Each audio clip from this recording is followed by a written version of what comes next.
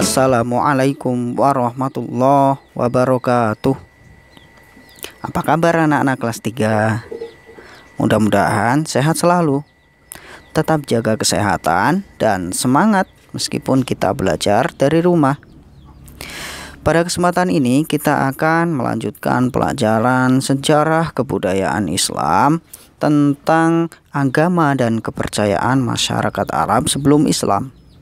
Namun sebelum kita belajar, kita berdoa terlebih dahulu. Berdoa mulai. A'udzubillahi minasyaitonirrajim. Bismillahirrahmanirrahim. Rabbi zidni ilma warzuqni fahma. Amin. Anak-anak kelas 3 dalam sejarah masyarakat Arab sebelum Islam sudah mengenal adanya Allah Subhanahu wa taala sebagai Tuhan yang patut disembah, Tuhan yang maha terpuji. Ajaran ini adalah ajaran tauhid yang dibawa oleh Nabi Ibrahim alaihissalam kemudian dilanjutkan oleh putranya yaitu Ismail alaihissalam. Perjalanan Nabi Ibrahim dan Siti Hajar serta putranya yaitu Ismail alaihi salam membuahkan sejumlah ajaran dan kebudayaan bagi umat Islam seperti adanya Ka'bah, kemudian adanya makam Ibrahim, kemudian adanya Hajar Ismail dan adanya kurban. Bahkan perjalanan keluarga Nabi Ibrahim alaihissalam diakui oleh umat Islam dalam rukun haji.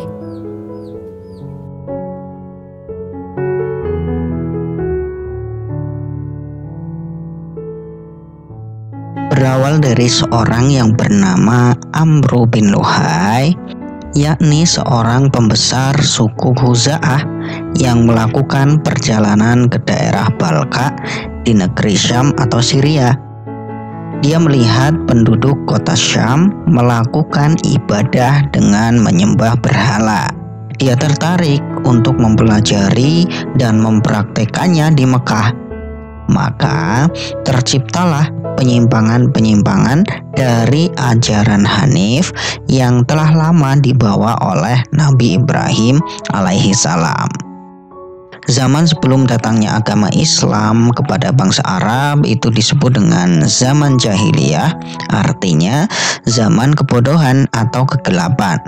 Maksudnya, manusia pada zaman itu tidak menggunakan akal pikirannya untuk mengikuti ajaran yang benar. Mereka hanya mengikuti keinginan nafsu dan kesenangan belaka.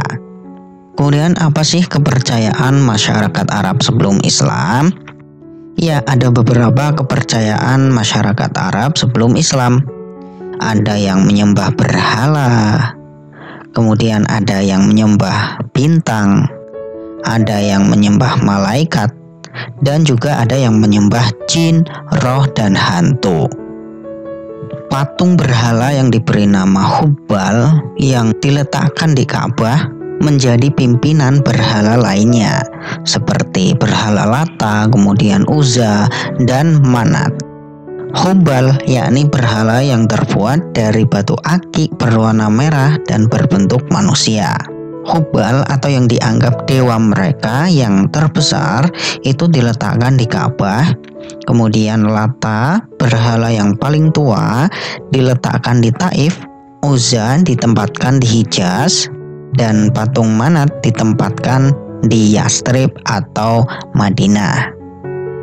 Amru bin Luhai itu mengajarkan kepada masyarakat Mekah cara menyembah berhala sehingga masyarakat meyakini bahwa berhala adalah perantara untuk mendekatkan diri kepada Tuhannya.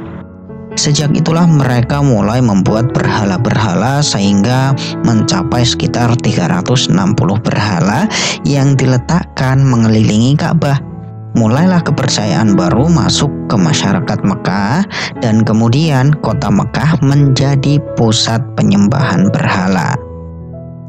Kemudian yang kedua ada yang menyembah bintang. ada masyarakat Arab jahiliyah yang percaya bahwa benda-benda di angkasa seperti matahari, kemudian bulan, ada bintang itu mempunyai kekuatan. Oleh karena itu, mereka memuja dan menyembah benda-benda itu. Mereka menengadahkan tangan ke langit seraya bermohon agar diberi rizki dan keselamatan. Kemudian masyarakat jahiliyah juga ada yang menyembah malaikat. Kita umat Islam beriman kepada adanya malaikat, tapi tidak untuk dijadikan Tuhan atau sesembahan. Nah, berbeda dengan masyarakat jahiliyah masyarakat jahiliyah ada yang menyembah malaikat. Mereka percaya malaikat itu adalah putra-putri Tuhan, sehingga mereka menyembahnya seperti menyembah Tuhan. Malaikat hanyalah salah satu ciptaan Allah Subhanahu wa Ta'ala malaikat hanya melaksanakan pekerjaan yang ditugaskan oleh Allah Subhanahu wa taala. Oleh karena itu, malaikat bukanlah Tuhan yang harus disembah dan bukan pula putra-putri Tuhan. Kemudian masyarakat jahiliyah ada juga yang menyembah jin, kemudian roh dan hantu. Pemujaan terhadap jin, roh, dan hantu yaitu dengan menguburkan hewan ternak. Hewan itu dipersembahkan kepada jin, roh, atau hantu agar menyelamatkan mereka dari bencana dan tidak mengganggu mereka.